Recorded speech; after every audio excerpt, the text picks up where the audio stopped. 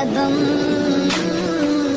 So hello स्वागत है मेरे चैनल टेक्निकल महात्मा में मैं अमित और अभी जो आपने शुरू में वीडियो देख लिया है आज मैं इसी का ट्यूटोरियल देने वाला हूँ जो कि देखने में बहुत मस्त लग रहा है। आ, क्या एक वाइट बैकग्राउंड में उस पर कोई भी पिक लगा सकते हो? और उसके बाद उस पर से एक हॉट फ्लोटिंग हो रहा है इधर उधर जो लग रहा है गजब का। साथ में उसका टेक्स्ट एनिमेशन भी बहुत मस्त है। तो चलिए सिखाते हैं कैसे बनाना है। लेकिन इससे पहले अभी तक आपने इस वीडियो को लिए लाइक नहीं किया तो एक लाइक ज़रूर कीजिएगा। लाइक करने के बाद अच्छा लगता है, खराब लगता है, नीचे कमेंट बॉक्स में कमेंट कर दीजिएगा कि आपको कैसा लगा। साथ में कोई वीडियो को सुझाव देना या कुछ पूछना हो तो डायरेक्ट मेरे इंस्टा पे मैसेज करें, वहाँ पर मैं आपको रिप्लाई ज़रूर करूँगा। तो वीडियो में आगे बढ़ जाते एक छोटी सी रिक्वेस्ट करना चाहूँगा आपसे कि तक आपने चैनल को सब्सक्राइब नहीं किया तो चैनल को सब्सक्राइब करके नोटिफिकेशन बेल को ऑल ज़रूर कर ले। तभी मेरे वीडियो को नोटिफिकेशन आपको सबसे पहले मिलेगी। तो वीडियो स्टार्ट करते हैं, ना कोई भूत, ना कोई आत्मा, आप देखते रहेगा हमेशा टेक्निकल महात्मा। हम सबसे पहले आ गए हैं क्रोम ब्राउज़र ऐप में। आप क्रोम ब्राउज़र ऐप को ओपन कर लेना और उसमें एक साइट खोलना जिसका नाम है रिमूव डॉट बी जी ये लिखोगे तो आपको इस पेज पे आ जाओगे मतलब लिंक होगा उस पर क्लिक करके। और आपको क्या करना है, जो भी फ़ोटो आपको लगाना है वहाँ पे तो उसको बैकग्राउंड इरेज करने के लिए तो यहाँ पर अपलोड इमेज करोगे तो आपको बैकग्राउंड इरेज करके ये दे देगा। तो बस यहाँ से इरेज करके देगा, आप डाउनलोड कर लेना। उसके बाद अब आपको चलना है लाइट मोशन ऐप में तो चलिए चलते हैं। वीडियो बनाने के लिए आ गया हूँ लाइट मोशन ऐप में, क्योंकि इसी से हम वीडियो बनाएँगे। ध्यान से देखिए, करना क्या है।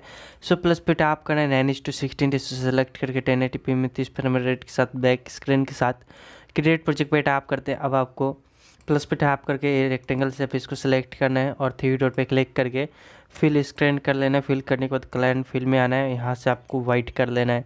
वाइट करने के बाद अब आपको क्या करना है? यहाँ पे सॉन्ग की ज़रूरत होगी साउंड पे वीडियो बनाओगे तो प्लस पे टाप करके एडियोस ले सकते हो।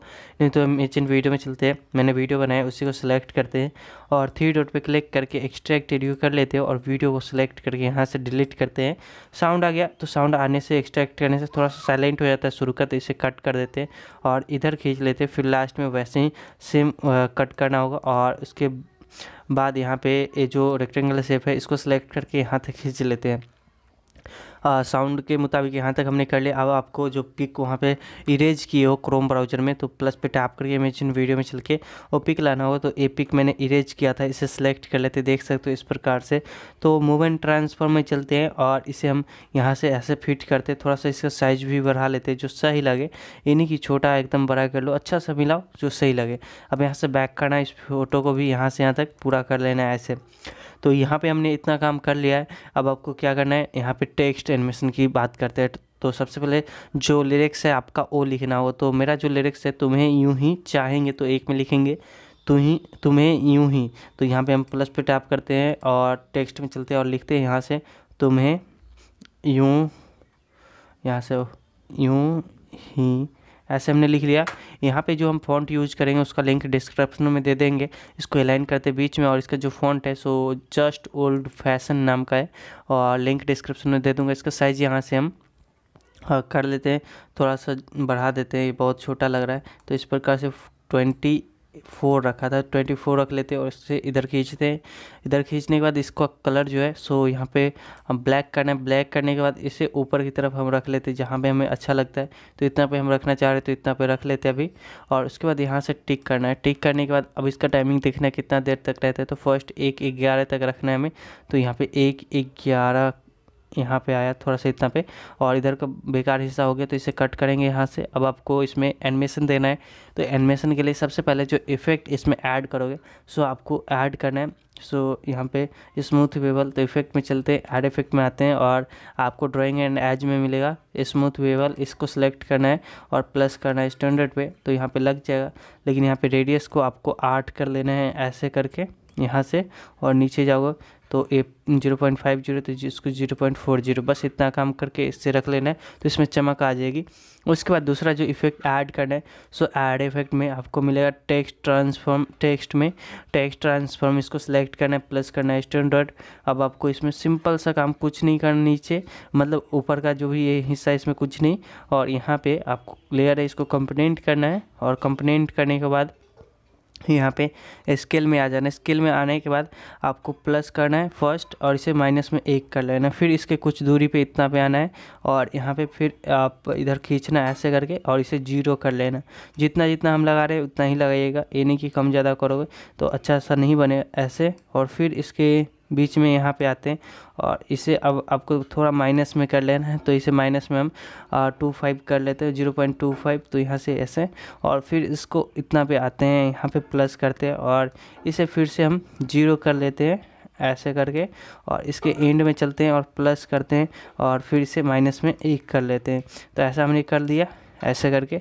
और यहाँ पे कुछ इस प्रकार से पॉपअप होगा लेकिन इसमें हम कर्व देंगे। और ये अच्छा से मिला लेते हैं एकदम बराबर तो अच्छा से हो जाएगा कि को थोड़ा इधर खींच लेते हैं। और इसमें हम कर्व देते हैं तो कर्व में आते हैं एक तीसरे नंबर वाला इसको सेलेक्ट करते हैं। और सब में यही कर्व को आके आपको आ, दे देना है तो ये तीसरे नंबर वाला कर्व इसको सिलेक्ट कर लेते हैं इसमें भी कर लेते हैं। यहाँ पर टेक्स्ट बन गया। अब आपको नीचे में कुछ नहीं करना। अगर चाहो आप तो ये रैंडम ऑर्डर भी ऑन कर सकते हैं। या ऑफ़ भी रख सकते हैं। तो दोनों में आपको चलेगा ऑन ही कर देते हैं। अब आपको यहाँ पे टेक्स्ट हो गया। अब इसमें थोड़ा सा हम क्या करते हैं, एक इफ़ेक्ट और ऐड करना है, जो कि आपको कलर एंड लाइट में मिलेगा।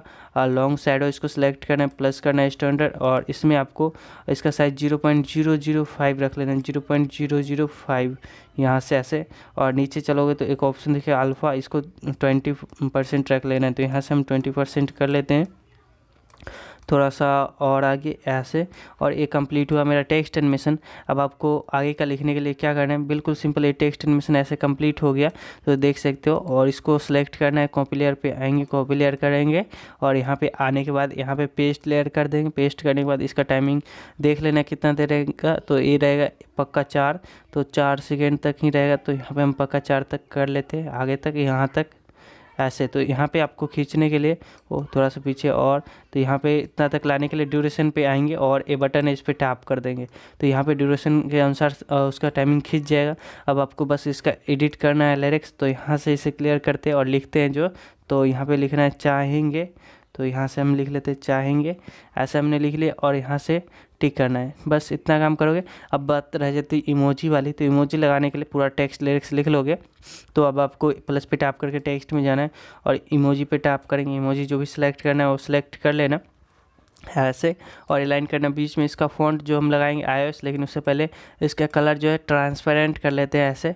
और इसका फ़ॉन्ट अब लगाते हैं आयोस वाला तो यहाँ पे वो फ़ॉन्ट ए है, इसे सिलेक्ट कर लेते हैं।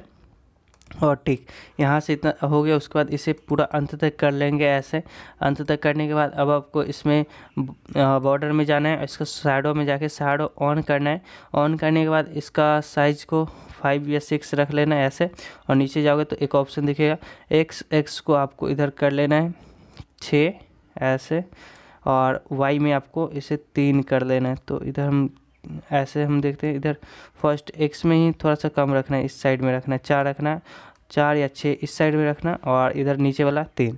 ऐसे रख लेना अब बैक करना है, इसमें एक इफ़ेक्ट ऐड करना है ऐड इफ़ेक्ट में जो कि आपको रिपीट में मिलेगा स्कैटर स्कैटर सेलेक्ट करना है प्लस करना है स्टैंडर्ड और यहाँ पे काउंटिंग को आपको दस कर लेना है तो यहाँ से दस रख लेते हैं, ऐसे थोड़ा सा और आगे और रेडियस को आपको एक हज़ार रख लेना है तो यहाँ से एक हज़ार हम रख लेते हैं। और थोड़ा करना होगा तो यहाँ पे एक हज़ार के पास में पहुँच गया। अपने अनुसार से देख लेना। तो कुछ इस प्रकार से हो जाएगा। तो अब आपको एवलेशन में आना है। प्लस करना है यहाँ पे ज़ीरो पे और इसके एंड में जाके प्लस करके इसे तीन दशमलव पाँच ज़ीरो कर लेना है। तो यहाँ से हम तीन दशमलव पाँच ज़ीरो कर लेते तो मेरा स्टेटस बन के रेडी हो जाता है, जो कि कुछ इस प्रकार से देखने में मस्त लगता है। तो चलिए आज का ट्यूटोरियल आपको पसंद आया हो अच्छा लगा हो तो लाइक कीजिएगा। और चैनल पे नहीं तो चैनल को सब्सक्राइब कीजिएगा। मिलते हैं अगली वीडियो में। तब तक वीडियो देखने के लिए बहुत बहुत धन्यवाद।